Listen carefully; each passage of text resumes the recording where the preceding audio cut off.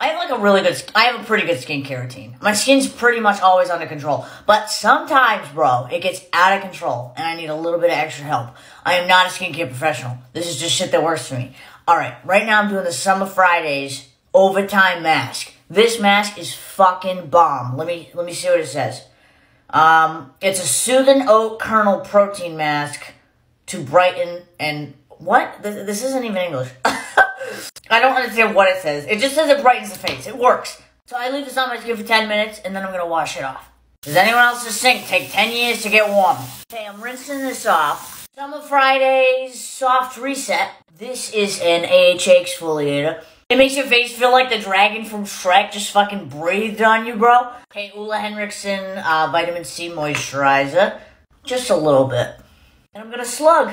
Good old healing ointment straight on the face. Tomorrow my skin's gonna be on fleek.